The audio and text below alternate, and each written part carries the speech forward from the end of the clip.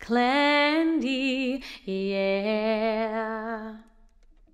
One happy birthday dot com.